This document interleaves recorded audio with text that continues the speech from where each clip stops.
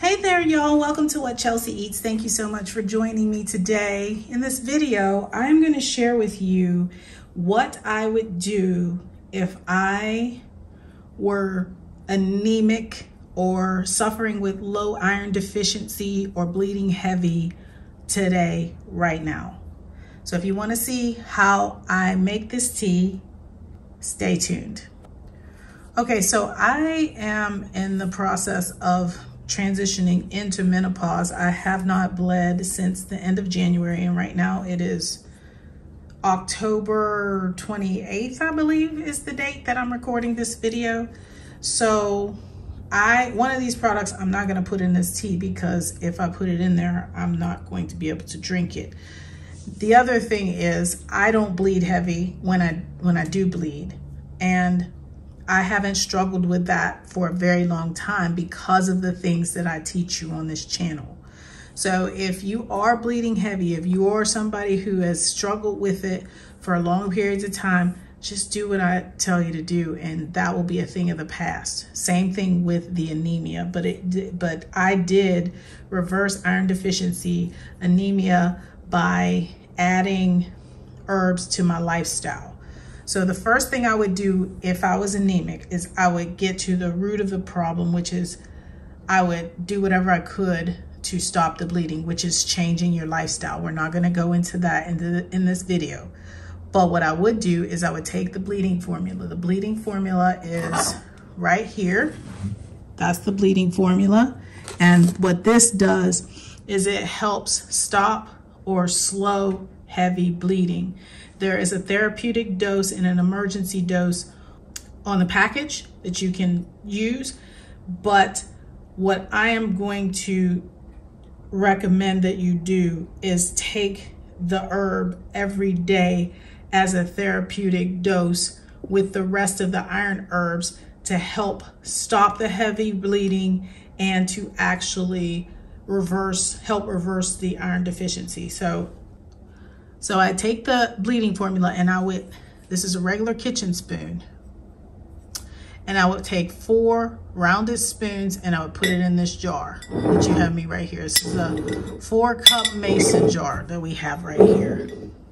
That's what that is, a four cup mason jar. So I would put four spoons of the bleeding formula in there. Like I said, I'm not using the bleeding formula right now because I don't bleed. And even when I was bleeding, I wasn't bleeding heavy, so I didn't need it. So what I will use is the iron herbs, which are absolutely amazing whether you're bleeding or not. We lose blood every month through when we have our menstrual cycle, and we also lose blood every month just because blood cells in our body die off and our bone marrow has to make new blood every every month, really. It's making blood, new blood all the time. So it's helpful to to add herbs with iron in it in in your body to help your bone bone marrow along with helping your blood to grow or to build. So if you have low iron, this combination is going to assist in that process. So the next thing that I would be adding to this is the Bye Bye Anemia. So I have my Bye Bye Anemia herbs in a jar, and I'm just going to add four rounded spoons. You see that spoon? Four. So I put four in there. I think I put four in there. I might have lost track, but the goal is to get four in there. The next one is to use this powerful herb called Stinging Nettle. And I sell it in my store, but this is my stash that I keep in my medicine cabinet. And I use four. Suggest using four. Okay, so we've got the stinging nettle in there. And lastly, this is excellent because of the season that we're in too, the cold season. And this is elderberries. Elderberries so I take four spoons. See that? You add, let me see if you, can you even see that? There you go. So there's the herbs mixed down into that jar. And the thing is, is you can you can add more herbs. So say you are on the womb healing tea, you can add your womb healing tea. Put four spoons of womb healing tea in there. If you're on your liver herbs, you can add your liver herbs. Put the liver formula in there. Add four teaspoons of liver herbs. Now, this is going to be a good. This is going to be a big herbal infusion.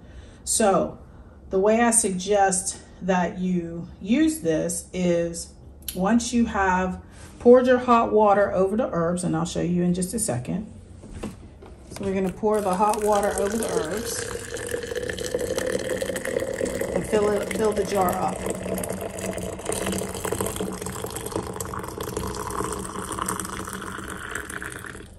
So I filled my jar.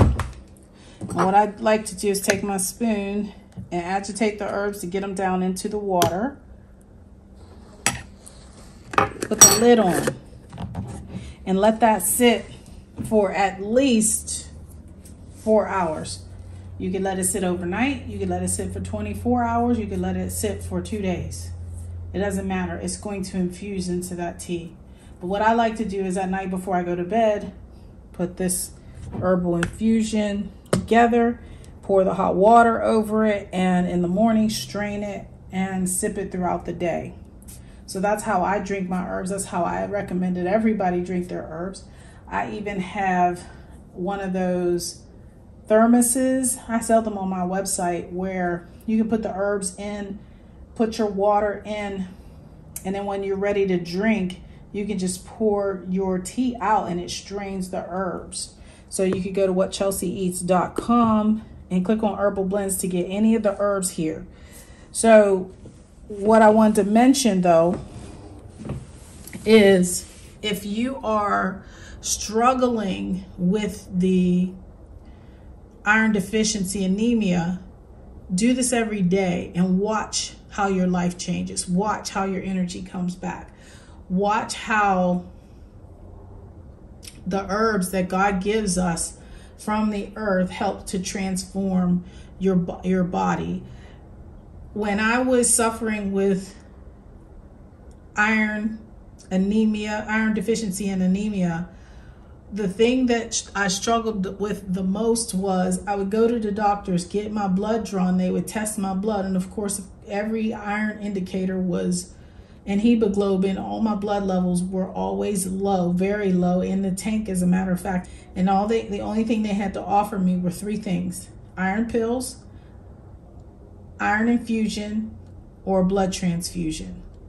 And none of it worked consistently. Although I never got a blood transfusion, I did I did do the iron infusion and I did take the iron pills, but it never worked. The iron infusion would help for a few like a few months but all the while my iron was still dipping down underneath that level within three month period and so it wasn't solving the problem so what solved the problem was me changing my lifestyle and taking iron rich herbs every single day. That's what helped.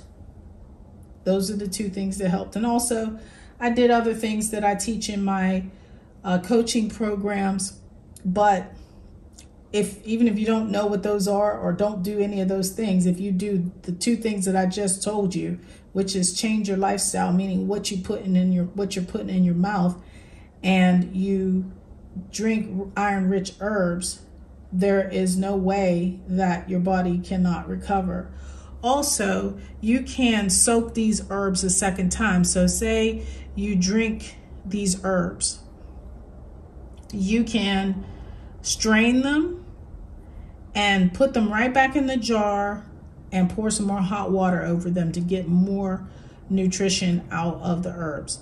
Now, it won't be as strong as it was the first time, but you are still pulling nutrients out of these herbs. So I wanted to make sure that I told you that. And if you are struggling with iron deficiency and anemia, I'm here to tell you I'm a living testament that you can get rid of iron deficiency anemia. And if you know somebody who is struggling with it, please share this video with them. And if you like this video, please like it. Subscribe to my channel for more videos like this and other videos that can help you with your health, with your womb health, with your health overall.